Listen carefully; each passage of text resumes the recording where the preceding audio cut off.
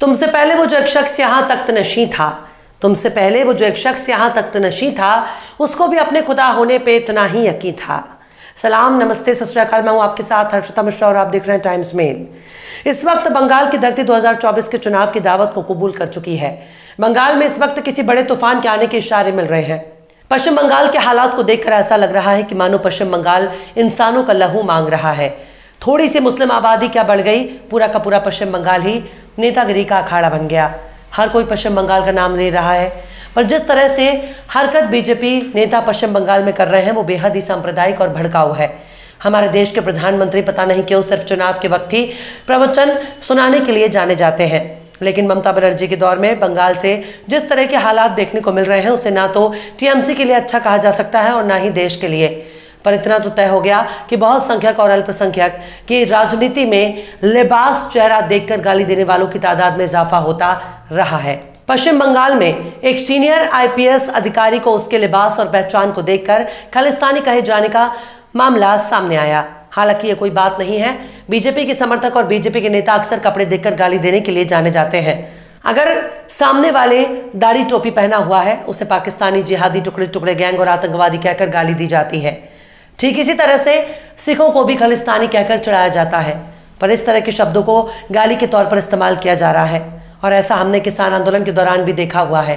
किसान आंदोलन के दौरान से किसानों को खालिस्तानी और आतंकवादी कहकर पुकारे जाने का सिलसिला अभी भी जारी है। लेकिन एक सीनियर पुलिस अफसर को खालिस्तानी कहे जाने का मामला कोई मामूली नहीं है, जिसे नजरअंदाज कर दिया जाए। पश्चिम बंगाल के उत्तरी 24 परगना ज़िले के संदेश खाली का नाम इन दिनों कई बार सुनने को मिल रहा है। पर बीजेपी के नेता शुभेंदु अधिकारी को मौके पर जाने से रोकने पर बीजेपी कार्यकर्ताओं ने एक पुलिस अफसर को खालिस्तानी कह दिया। एक पुलिस अफसर को क्या इसलिए खलिस्तानी कहा गया? क्योंकि उसने पगड़ी पहनी हुई है, उसके चेहरे पर दाढ़ी है और वो सिख है।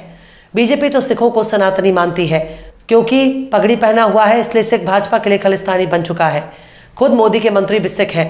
अगर वो खालिस्तानी नहीं तो फिर एक आईपीएस अफसर को कपड़ों के आधार पर खालिस्तानी क्यों कहा गया? कथित तौर पर खालिस्तानी कहे जाने के बाद मामला तूड़ पकड़ चुका है। एक वीडियो भी वायरल हो रहा है, जिसमें भीड़ से घिरे पुलिस अधिकारी जसप्रीत सिंह इस बात पर आपत्ति ज़ाहिर करते हुए नज़र आ रहे हैं। उन्हें उनकी मजहबी पहचान के आधार पर खालिस्तानी क्यों कहा गया? शुभेंदु अधिकारी के साथ आए बीजेपी विधायक अग्निमित्र पॉल का कहना है कि पुलिस अधिकारी अपनी ड्यूटी सही से नहीं कर रहे थे। उन्होंने इस इल्ज़ाम को भी खारिज कर दिया कि किसी बीजेपी कार्यकर्ता ने खालिस्तानी शब्द इस्तेमाल किया। पर सवाल है कि बीजेपी और बीजेपी के नेता कैसे तय कर सकते हैं कि पुलिस अफसर ने अपनी ड्यूटी ठीक से नहीं की? मणिपुर तो इसका ताज़ा उदाहरण है, जहाँ का भाजपा मुख्यमंत्री मुँह में दही जमाकर बैठा हुआ है। भाजपा के कई राज्यों में लूट, बलात्कार, आगजनी की वारदात सामने आती है। जब मामला बीजेपी के राज्यों से जुड़ा होता है तो दिल्ली से लेकर सूबे की राजधानी तक एक भी नेता पुलिस अफसर की ड्यूटी पर सवाल नहीं उठाता। भाजपा अक्सर कपड़े देखकर गलत बयानी करने के लिए जाने जाते हैं। अगर पुलिस अफसर कह रहा है कि उसे खलिस्तानी कहा गया है तो इस इल्ज़ाम की जाँच होनी चाहिए। मगर किसान आंदोलन तो सामने मौजूद है। इसे कैसे नज़रअंदाज कर दिया गया? सिख किसानों को पहले भी खलिस्तानी कहा गया और आज भी कहा जा रहा है। मामला बढ़ता देखकर पश्चिम बंगाल के मुख्यमंत्री ममता बनर्जी ने ट्विटर यानी एक्स पर लिखा कि बीजेपी सोचती है कि पगड़ी पहनने वाला हर व्यक्ति खलिस्तानी है। बीजेपी की विभाजनकारी राजनीति ने संवैधानिक सीमाओं को बेशर्मी से लांग दिया। मैं राष्ट्रपति के प्रति बलिदान और अटूट दृढ़ संकल्प वाले सिख भाई बहनों की प्रतिष्ठा को कमज़ोर करने के दुस्साहसिक प्रयास की निंदा करती हूँ। उन्होंने कहा कि यह हरकत सिखों की छवि को खराब करने की कोशिश है, जिनका देश के लिए बलिदान देने के लिए बहुत सम्मान किया जाता है। बीबीसी के मुताबिक 2016 बैच के पश्चिम बंगाल कैडर के आईपीएस अधिकारी जसप्रीत सिंह धनखाली ने अपनी टीम के साथ तैनात थे। शुभेंदु अधिकारी को कालिंदी नदी के उस पार संदेश खाली जाने से रोकने के लिए पुलिस ने बैरिकेड लगाया हुआ था। तभी कथित तौर पर बीजेपी कार्यकर्ताओं ने एक ग्रुप में जसप्रीत सिंह को खलिस्तानी कह दिया, जिससे वो नाराज़ हो गए। वो बीजेपी कार्यकर्ताओं से कहते नज़र आए कि आप कह रहे हैं कि मैं खलिस्तानी हूँ, मैं इस पर एक्शन लूँगा। मैंने पगड़ी पहनी है तो आप लोग ये बोल रहे हैं। अगर मैंने पगड़ी ना पहनी होती तो आप क्या मुझे खलिस्तानी बोलते?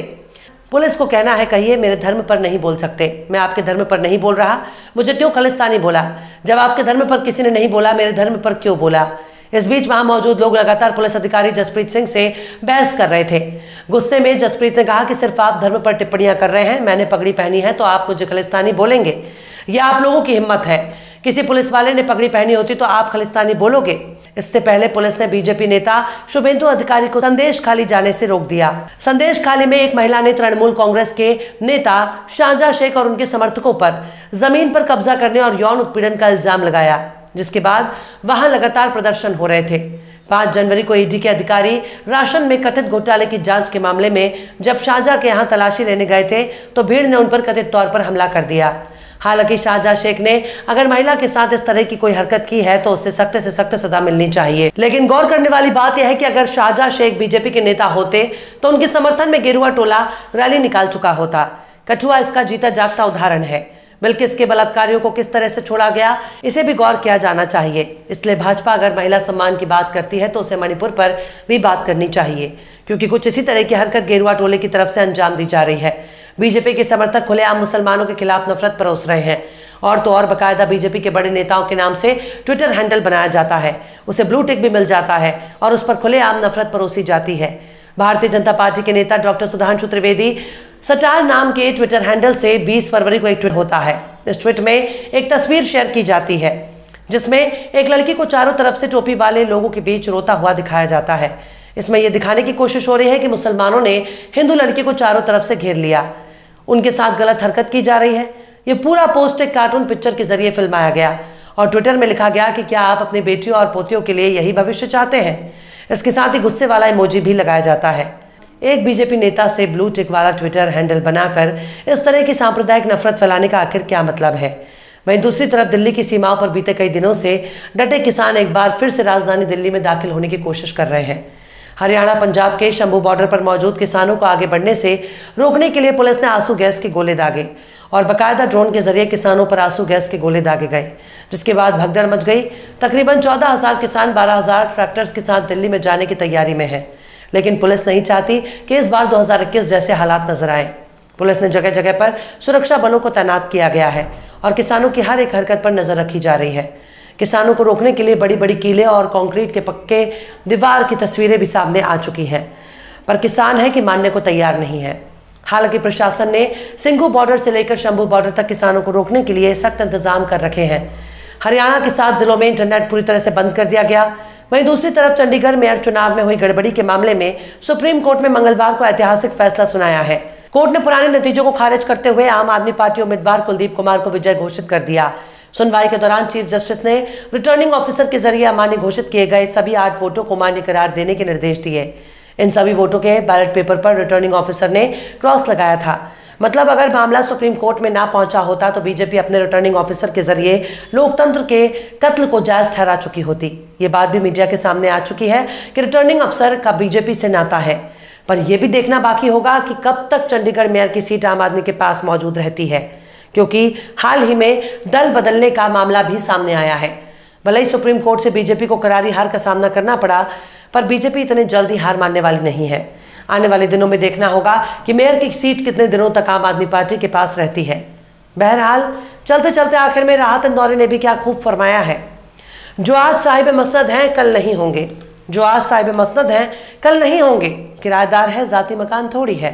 फ़िलहाल इस वीडियो में बस इतना ही। ये वीडियो आपको कैसा लगा, कमेंट बॉक्स में आप ज़रूर बताइएगा। वीडियो पसंद आए तो लाइक करें। हमारे वीडियो लिंक को फेसबुक ट्विटर व्हाट्सएप पर अपने रिश्तेदार, यार दोस्तों को भी शेयर करें। और बेबाक निष्पक्ष। स्वतंत्र पत्रकारिता को सपोर्ट करने के लिए आप हमारे चैनल टाइम्स मिल को ज़रूर से सब्सक्राइब करें और हाँ बेलाइकन का घंटी वाली बटन भी आप ज़रूर से दबा दें ताकि आपको हमारे आने वाले नए वीडियो की नोटिफिकेशन फ़ौरन ही मिल जाए। फिर मिलते हैं किसी और वीडियो में एक नई खबर के साथ। हर्षिता मिश्रा को दीजिए इजाज़त। जय हिंद।